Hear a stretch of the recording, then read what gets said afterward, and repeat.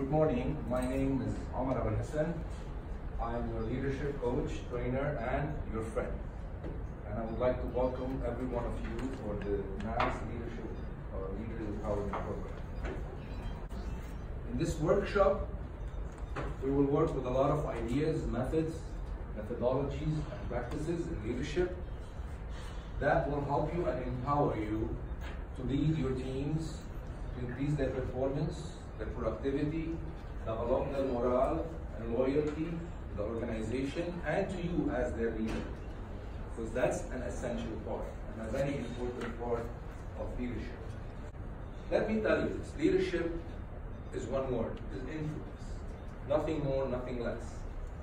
If you are leading and nobody is following you, then you're not leading, you're probably taking a walk somewhere, probably in the park.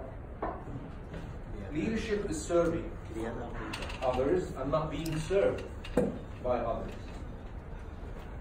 And leadership is helping people become better people in life and work.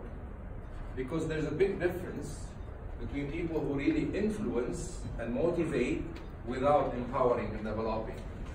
If you do one without the other, you're manipulating, you're not leading. Leaders motivate and equally develop. So you have as a leader to be connected with people and relate to them, whether it's work or at home. It's not just when they come to your work. They are your responsibility all the time. The mission of this program is to lead you and to help you, equip you, and empower you with leadership tools, ideas, methods, and best practices to become a better leader. Because everything rise and fall in leadership. When you as a leader become a better, better leader, you will be empowered to develop others, develop your teams, help people, whether in your company or outside, probably in, in the community. Because leadership is leadership, doesn't matter where you are and what you're doing. You could lead your family, you could lead your community, and you could be working in leadership at your organization. So a lot of people in your team have a potential to lead with you, okay, to assist you in the leadership process. So, I said the word process, and probably I might say it a hundred times. Why? Because leadership is a process. Leadership doesn't happen in a day, and not in two days, and definitely not in three days. A process means a continuous action.